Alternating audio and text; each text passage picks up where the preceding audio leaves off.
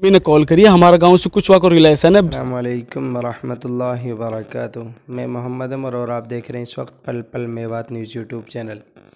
आज की इस वीडियो में हम बात करेंगे सानिया के ऊपर, और इससे पहले मैंने एक वीडियो बनाई थी उसी के ऊपर, जिसमें मैंने ये कहा था कि इस तरह की लड़कियों को इस तरह डांस से दुनिया में लाना बिल्कुल सरासर गलत है, और क्योंकि अगर कोई इंसान गरीब है, चाहे वो मह बिल्कुल गरीब हो, उसको इस तरह लाइन में डालना उसके लिए जो भी उसको डाल रहा है, अब चाहे वो कोई भी हो सारा गुनाह उसी पर होगा जो उसको इस लाइन में लाकर खड़ा करेगा।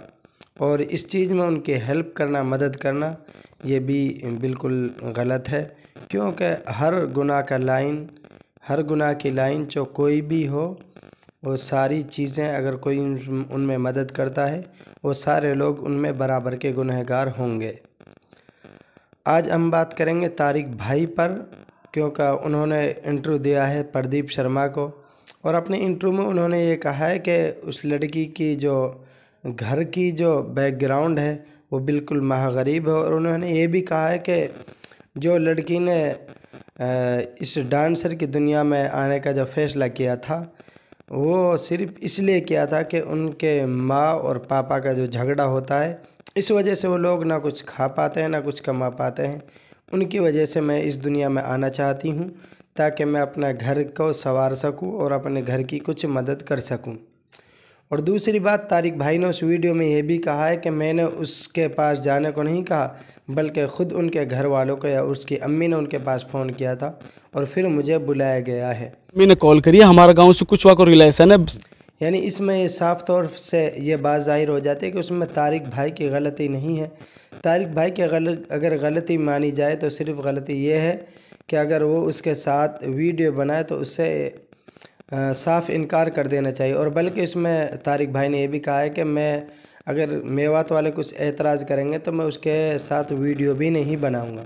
अगर ऐसे ही मतलब हमारे ऊपर तंज कसा गया तो भाई मैं प्रदीप खुली बता रहा हूँ, मैं सच में वाला लड़की के साथ काम ना करूँगा? क्या लगता है? मुझे तारिक भाई की बात बहुत अच्छी लगी है और तारिक भाई ने उसकी जहाँ तक उसकी जो वीडियो मैंने देखा उसमें उनकी बातों से ये भी अंदाज़ा लगा लगाया जा सकता है। आप वो वीडियो देख भी सकते हैं उनके चैनल पर। उनमें ये भी साफ़ ज़ाहिर पता चलता है कि उन्होंने सानिया की मदद भी की है।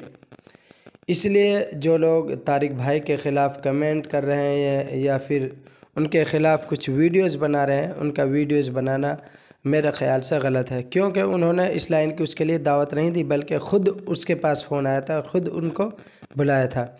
ये मैं नहीं, बल्कि ख़ुद तारिक भाई ने उस वीडियो में बताया है।